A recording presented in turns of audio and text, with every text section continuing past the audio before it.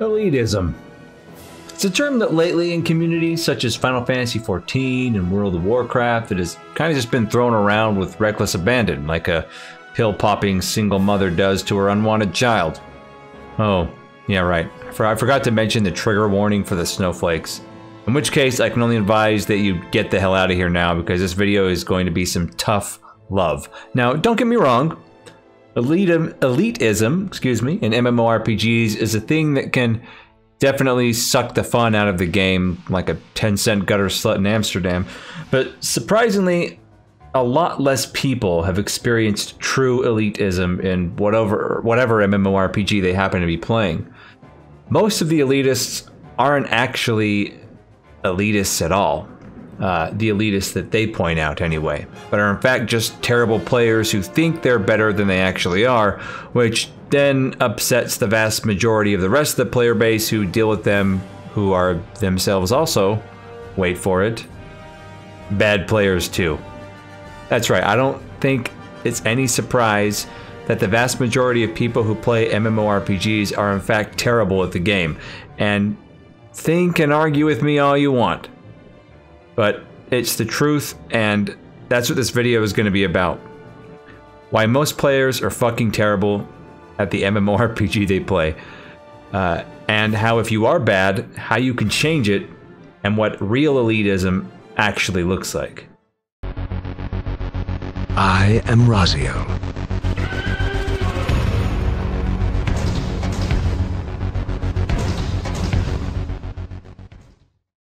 Now, before I shit in your cereal by dropping mad love bombs all over you, let me give you some context. If you are new to the channel, you need to know that I've played a lot of MMORPGs, with Final Fantasy XIV and WoW being the current two that I play the most. I've been playing MMOs since 1999, and even before that, if you count MUDs.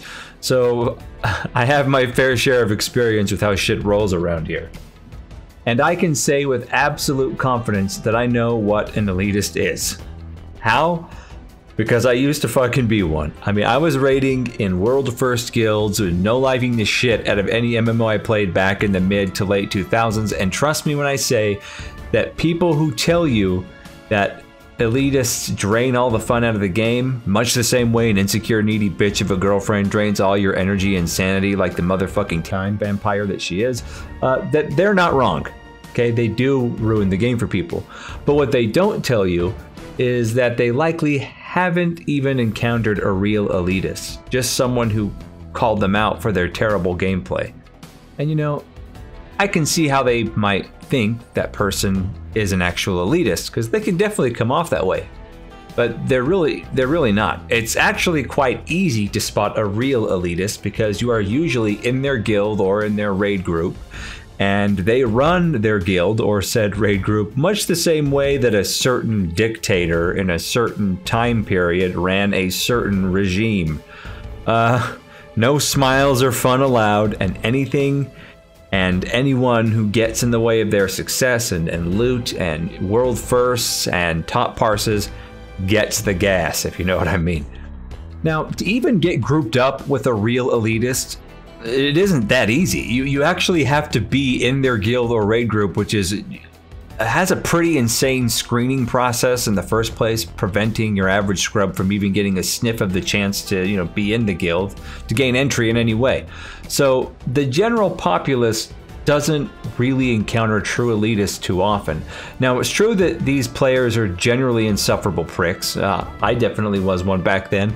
Uh, it's also true they are generally exceptionally good at the game itself. Still, regardless of how good they may be at the game, it still doesn't change the original statement I made about the general overall lack of fun and enjoyment of the game when you're playing with these people. What most players that bitch about elitism don't realize is what they experienced and complained and possibly ruined someone's livelihood over uh, isn't actual real elitism. Let me give you some examples of what I'm talking about. In Final Fantasy XIV, the guy who won't let you in his party finder group because you aren't playing a meta job uh, isn't an elitist. He's just a sheep who probably isn't that good himself or herself and thinks the only way you can win is to follow the meta. So, i.e., not an elitist, just a dumb cunt. Uh, the guy who kicks you from the raid group because your DPS is shit and you died to the same mechanic, you know, two to three times per pull to the same mechanic in all five attempts on the boss. That's just a guy who wants progress. He's not an elitist.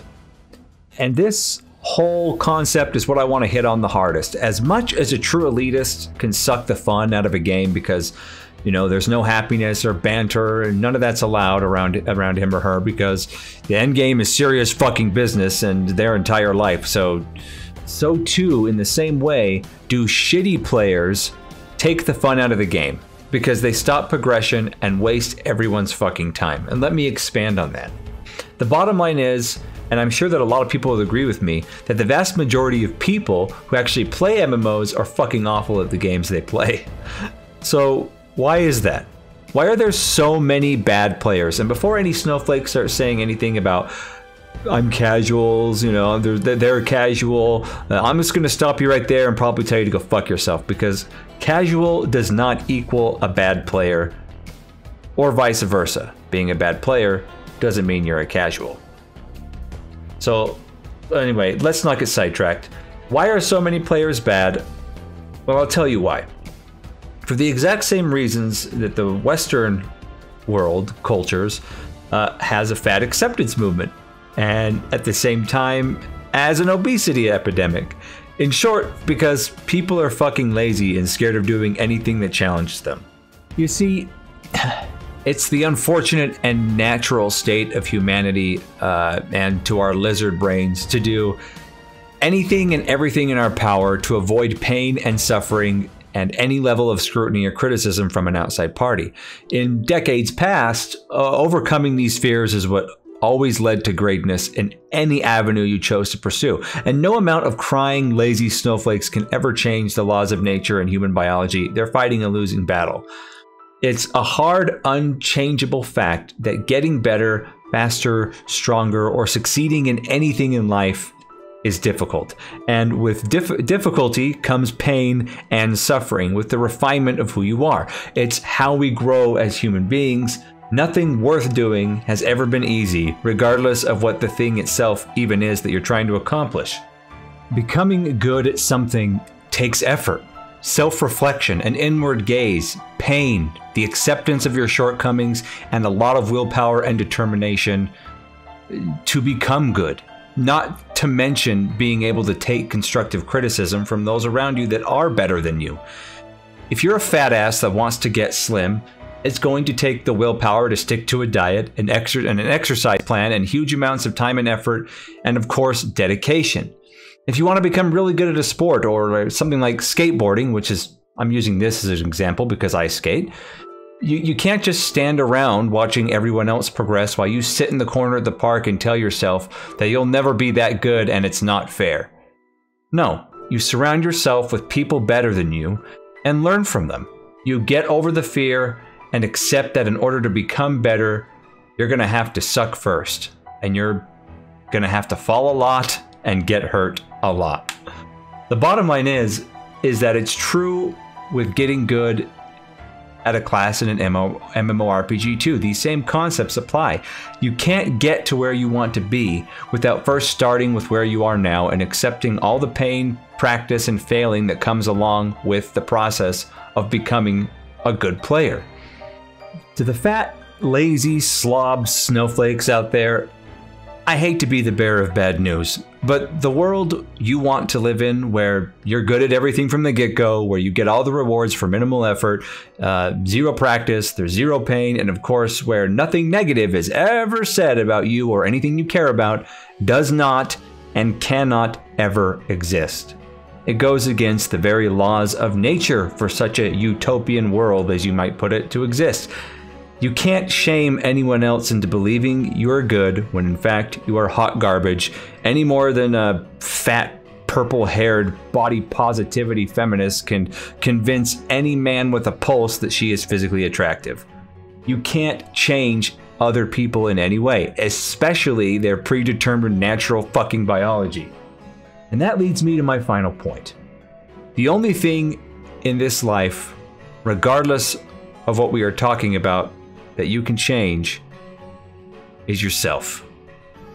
If you suck at anything, be it a sport, a skill, or even an MMORPG video game, the only way to actually get better is to put in the effort and try. If you don't want to be made fun of, then don't be an embarrassment. You'll you'll still make mistakes along the way, and if you make a few here and there and someone gives you shit, just ignore them or tell them to fuck off and move on and keep improving yourself. What they think doesn't matter, as long as you're trying to be better. But if what they think is the truth because you're lazy, then you have no one to be mad at but yourself.